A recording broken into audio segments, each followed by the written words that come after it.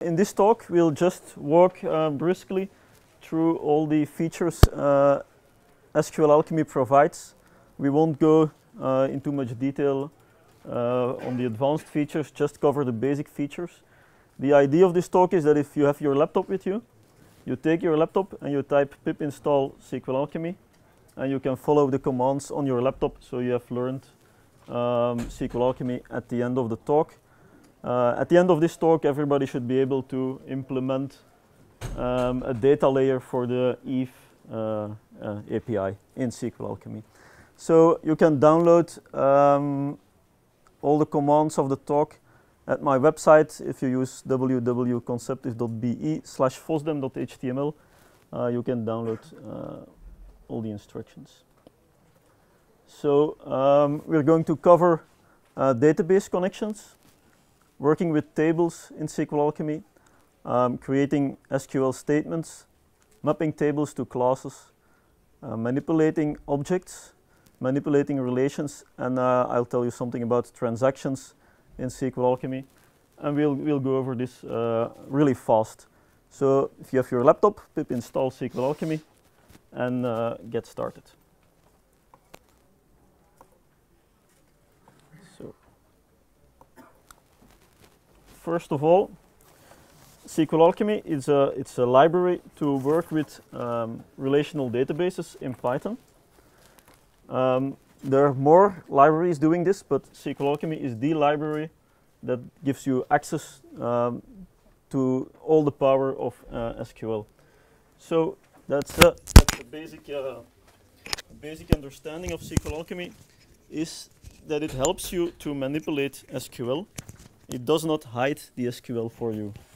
So it's, it's not some magic um, to get rid of the SQL. Instead, it's a powerful tool to help you working with SQL. So if you're new to SQLAlchemy, a good thing to do is turn on the logging. So import the logging module and then first configure the basic Python logging. So we set the logging level to debug. Like this. And then we turn on the logging of the SQLAlchemy engine. So we get the logger.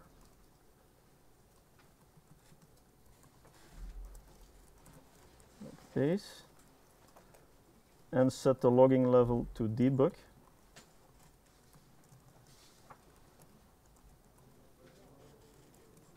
So this will make sure we see everything that SQLAlchemy sends to the database. And this can be very interesting in case you're uh, running into troubles. Often, while just looking at the SQL statements, you know what's happening.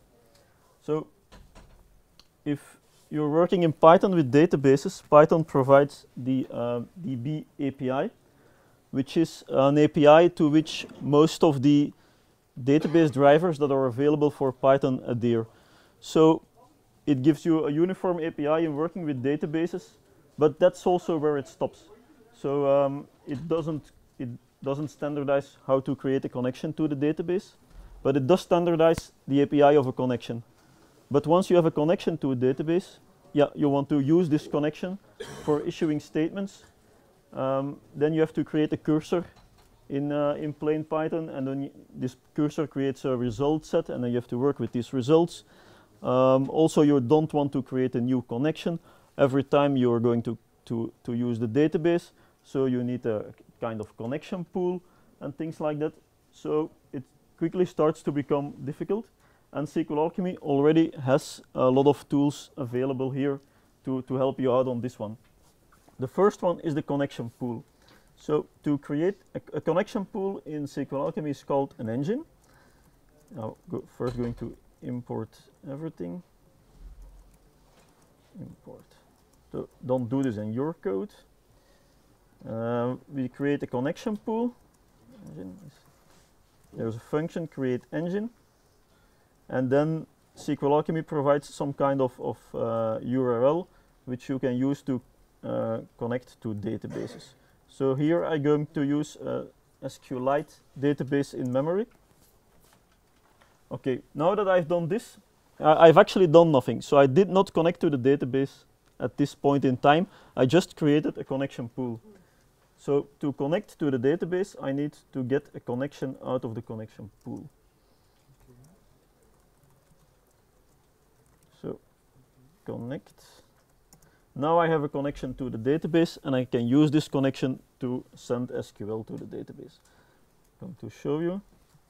So I get a result object is connection dot execute and let's send some simple statements to our database. Let's try to find out uh, the result of 2 plus 2. So you see that uh, it has logged all the statements that were sent to the database. I get the result back. And to get this a single value back, I call result.scalar and I get 4 back. Uh, that looks good. Uh, we can talk to the database and we have a connection pool. Next thing you want to do if you work with SQL, it's working with tables. Yeah? But remember, SQLAlchemy is for working with relational databases. The word relational is important here. It means we're never working with a single table. Instead, we're working with tables which relate to each other. So in SQLAlchemy, all the information about tables that relate to each other is stored in an object called the metadata. So before we can create a single table, we have to create our set of tables, which is uh, which is the metadata object. So let's create it. Metadata is metadata. So this is our metadata object, and now we can start constructing tables. I'll first construct a table to store uh, person information. So that's a table object. This is the name of the table um, as it will be used in the database. Then I pass the set of tables to which it belongs, so the metadata. And then I can specify um, any number of columns um, that have to be present in the table. So I create an integer column, which is a primary key. And I add another column, um, which is the name of the person, and that's a string with 25 characters. And it's not nullable, so it's a, it's a required field.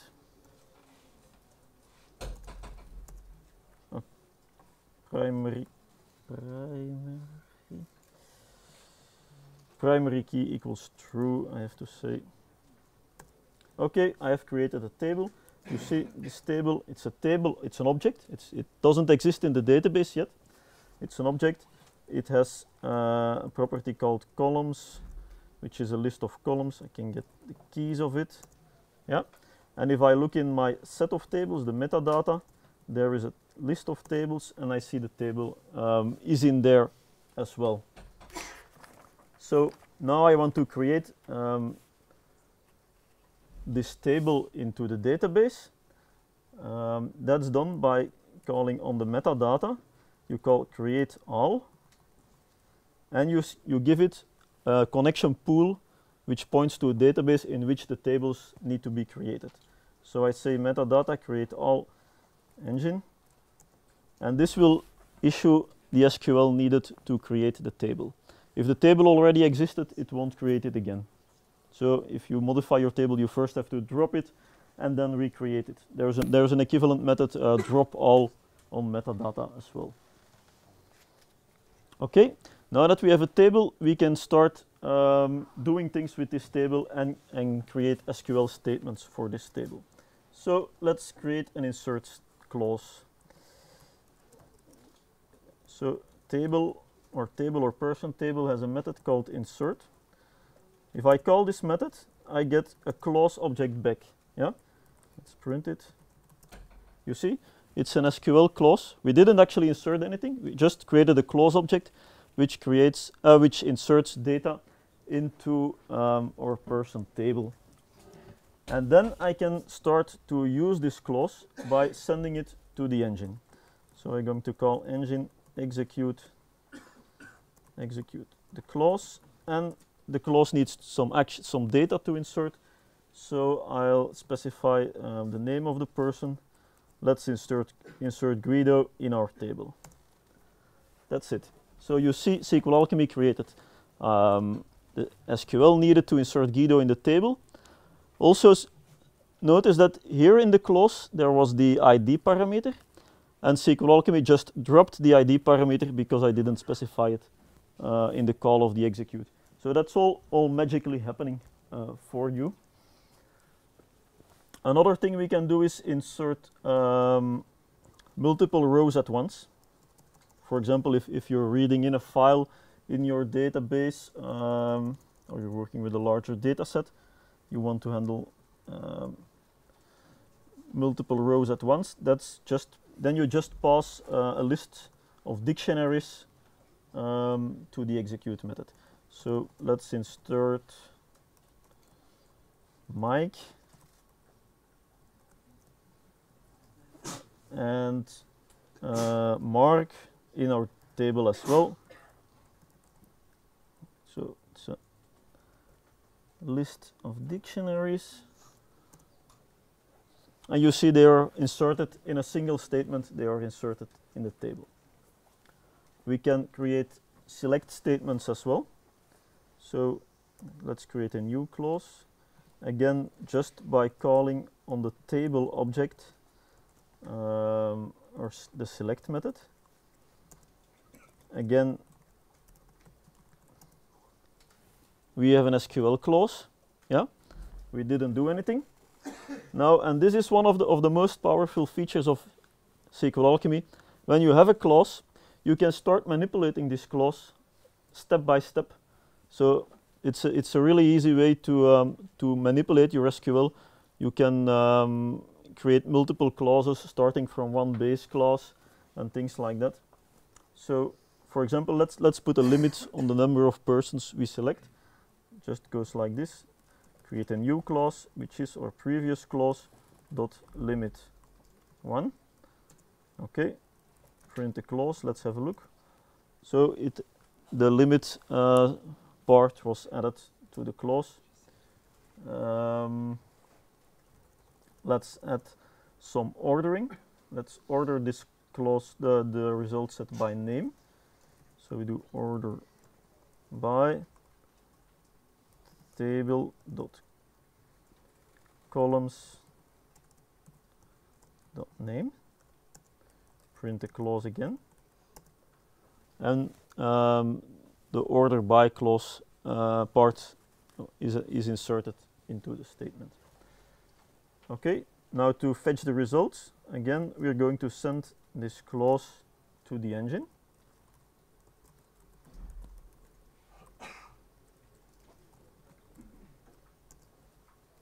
Okay, now the actual SQL has been sent to the database. We got the result proxy back and we're going to fetch the results.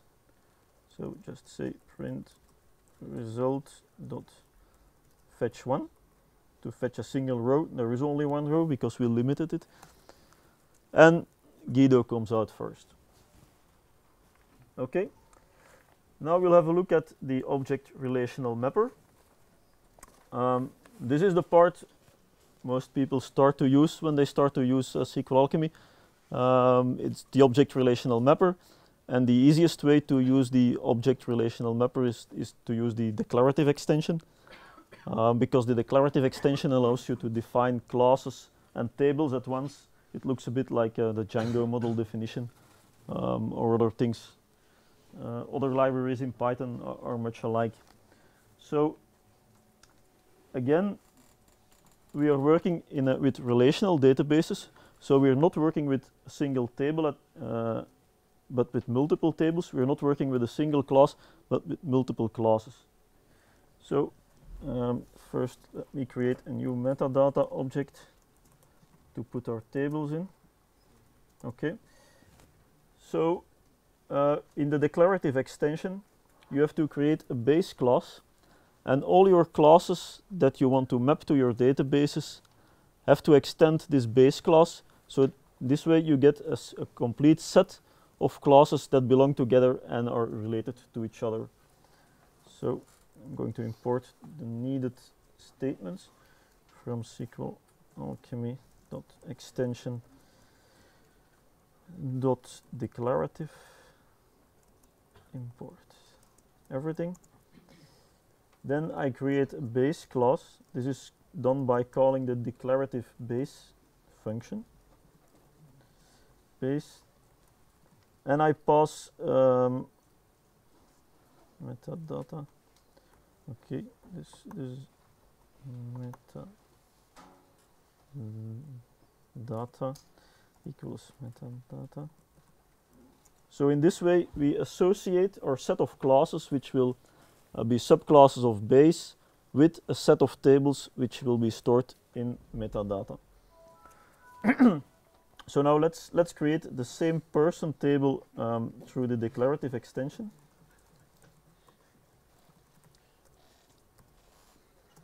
You have to specify under under table name, which is the name of the table. That's uh, obvious. So let's use person again.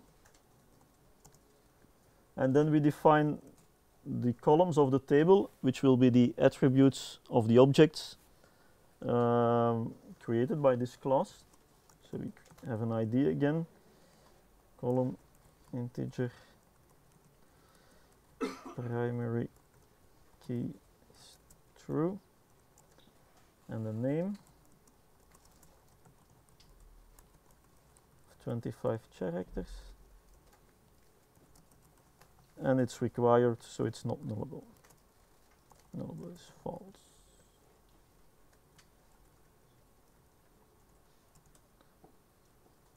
Um, typo. Okay so we have defined uh, create we have defined a class person class. Okay if you look at person, you'll see that person has an attribute under under table, which is um, the person table, which is created at the same which is created at the same time as the person class. It has columns as well. You see ID and name as columns.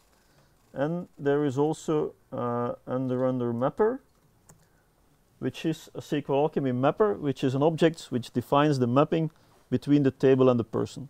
So by default, you get a simple mapping that each column in the table uh, becomes uh, a property of your of your class. But um, you can you can define much uh, much more complicated uh, setups as well. So to create these tables, we can just call the base class metadata create all to the engine. You see that now it didn't create an actual table because we created the table uh, previously with the plain SQL. So now that we've defined a person class, uh, we can start create start manipulating person objects. So here again, when we are working with objects, which are actually rows in our database, we're never working with a single object, we're always working with a set of related objects. So like we had the metadata and we had the base class, we now have a thing called the session. And a session is a set of related objects we're working with at the same time. So in SQLAlchemy talk, you first have to create a session factory. And that is usually uh, a session with a, with a capital S and then you call the method session or first have to import everything we import everything from the object relational mapper I create a session factory with the session maker function and I connect this session factory to uh, an engine. This means every time I create a new session object, which will be a set of objects I'm working with, they will be connected to this database. Then I create the session itself by calling the session factory, like this. Now, every object that I want to um, manipulate and store in the database or retrieve from the database should be associated with a session. so if I create a new person object, person, person with name equals Guido. So if I want to store this object in the database, I have to add it to a session. So I say session.add person. Let's see what's in the session. Session has a new attribute. This is a list of all the objects that exist in memory but are not yet stored in the database. Okay. So I now call session.flush, which means store any changes you have in the session in the database, and you see the SQL is generated to insert um, the person in the database.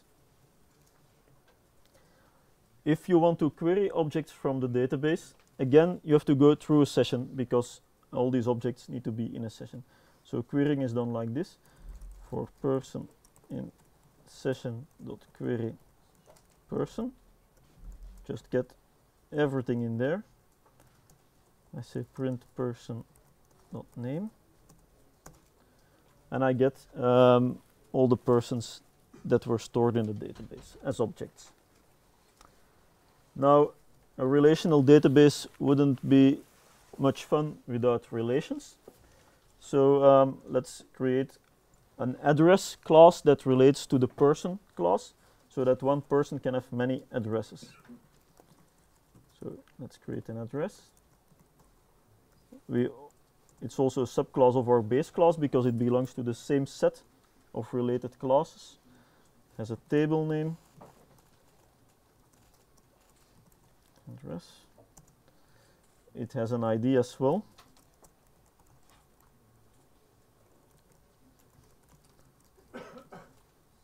Which is the primary key. It has a, it has um, a person ID attribute which relates to the um, ID of the person. So this is an integer column and I say this is a foreign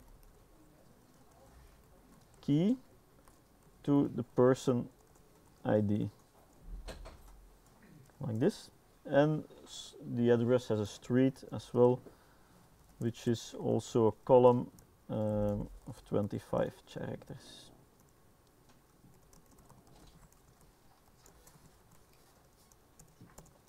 So um, we created a new class and a table and a mapper. So let's quickly um, create the needed tables in the database. So we call ba ba base.metadata create all in the engine and you see the table uh, is created. So now we have defined relations at the database level. We also want to re define relations at the object level. So we give the address class uh, a property called person, which relates to uh, the actual person class um, SQLAlchemy will introspect the address class and find the foreign key relation and reuse that to get our object relation working.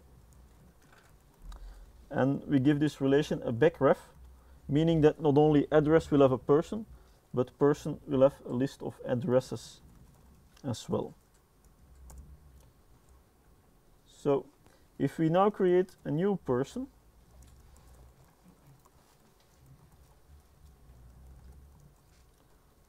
we'll see that this person has a list of addresses, which is now empty. And this is one of the fun things um, SQLAlchemy does for you. If I now create a new address,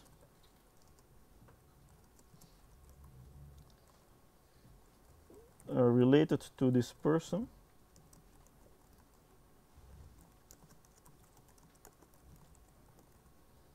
like this, so I've created an address which is related to our person. If I then look at the person level, in the list of addresses, the address will be there. So the SQLAlchemy uh, object relational mapper always takes care that the relations on both sides uh, are in sync. And then when I flush the session, everything is written to the database again. Ah, I didn't add the person to the session, so nothing happened. Haha at the person. You see, and I added the person, and the person was related to the address, so the address was automatically added to the session as well. And then I just flush the session and everything is written to the database. So now let's have a look at transactions. What SQLAlchemy does for us, it keeps the transactions of our database in sync with our session.